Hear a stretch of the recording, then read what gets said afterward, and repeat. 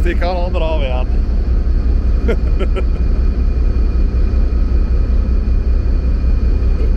Thomas näktar flera dagar.